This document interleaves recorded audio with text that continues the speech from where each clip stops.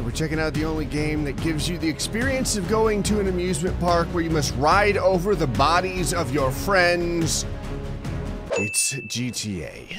I'm not gonna lie, this is a pretty unique concept to start. In order to... I'm really good at this. Yay. What I was trying to say is in order to actually get into the very first portion of the parkour... Come on. There we go. I have to parkour over an infinite amount of falling bodies coming down a water slide. What I have found simply attempting this is that the bodies of ragdolling human beings are one of the most annoying things in all of GTA. Ha! Save! Or not. Oh god. Oh no. Uh, well, you know what? At least I'm not alone down here. I'm also really curious how they managed to set this board up so that the people are infinite spawning. Like it never ends. It's just a constant avalanche of human beings trying to stop me from getting from point A to point B. Okay, that guy looks pretty meaty. Okay, dodged him. There we go. Oh, what is happening? We got this. Okay, it's getting a little harder to pedal. Are you serious? Well, I guess I'll get to see just how far I fly. Yay! Now I can judge.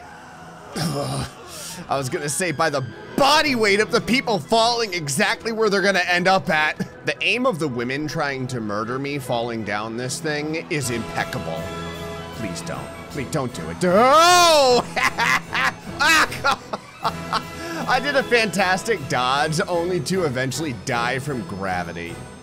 I love that we're at a point now where just getting to the initial parkour is more annoying than most of the parkours that I did way back in the day. Okay, so off to the right. There we go. That was a good dodge. And right again, right again, right again. Okay, yeah, yeah. Okay, good. Yeah, see, they all sweep over to the left. And we have a checkpoint scenario. Bloody ride shooting peds. Well, that sounds violent. Is this a parkour am I just going back to high school in Jersey? Oh my God, you've got to be kidding me. Okay, well, whatever. That is a perfect fall.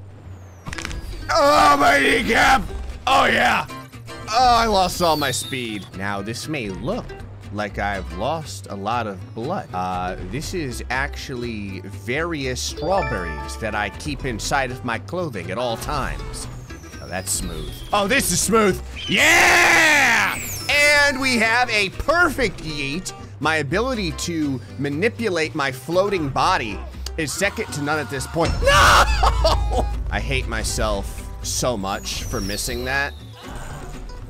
Okay, perfect. All right, nice. And I think we have a checkpoint straight ahead as long as I don't get shot in midair. There it is with the half twist. I'm so concerned that this just says it's raining cars. You know, it would have been great a little... Wait, what was that? How? How do you even do this? Okay, so yeet myself off, land it right in the middle. So now I have to dodge the cars somehow.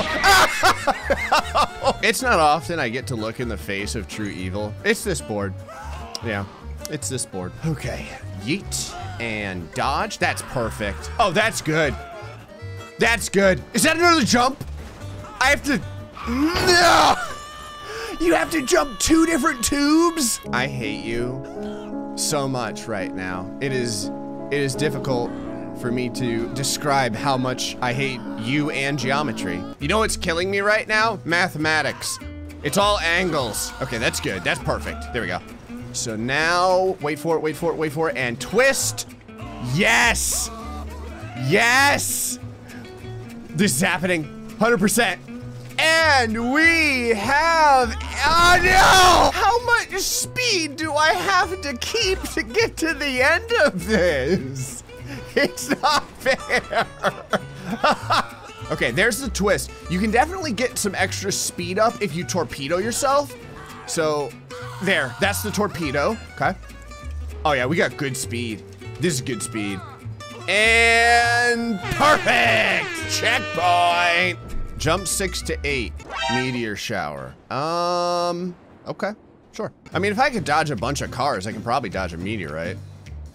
I feel like this is some very substantially stupid dodgeball training. See, over here in Florida, we don't just, you know, dodge wrenches and stuff. We dodge meteorites. That's how we roll.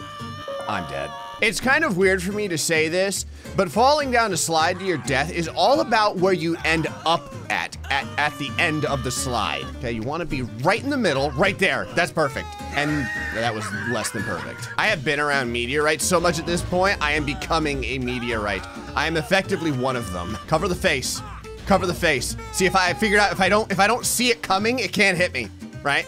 Okay, I don't see the meteorites. The meteorites don't see me. This is fine. Okay, I didn't see the, the slide there either. Good launch. And we have a good landing, but first, that was fantastic.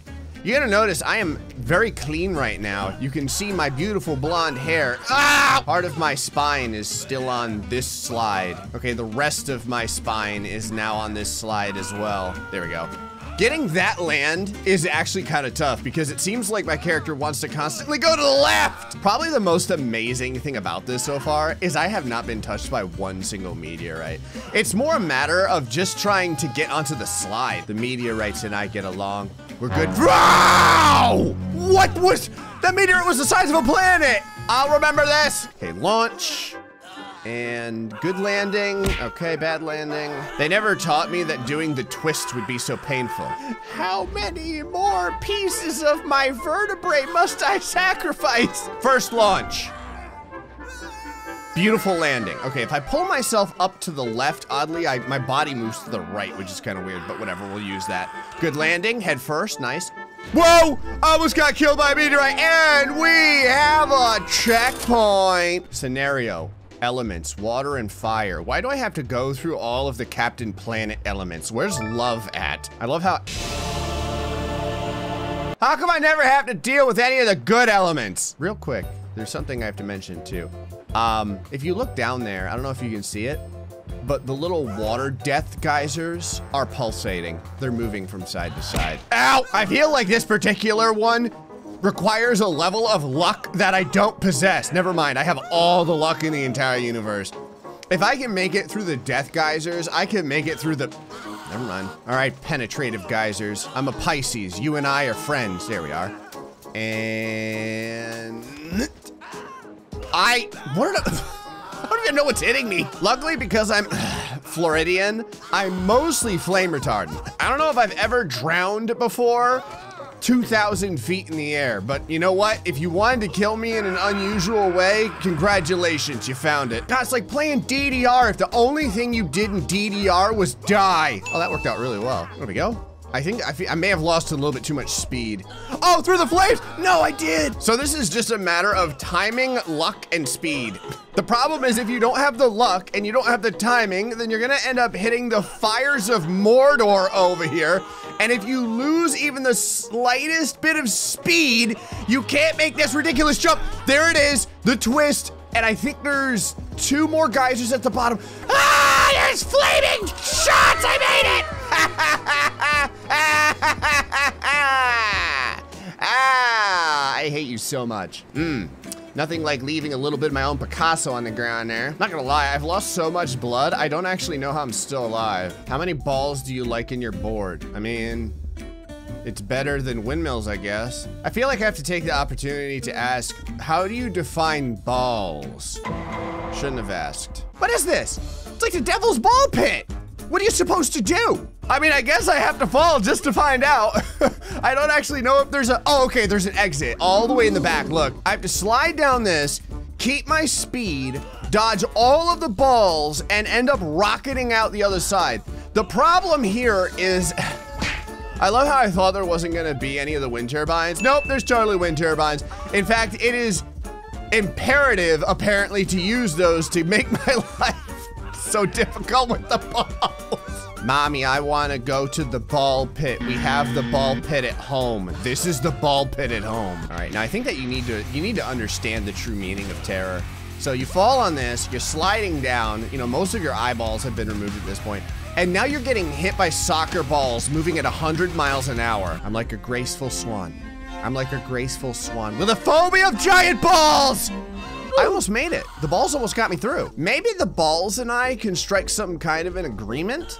You know what I mean? I feel like the person who made this had thought about every shape that I said I live in fear of, and I'm pretty sure squares and triangles were in there. They were like, you know what, spheres. I love trauma. oh, oh, yes!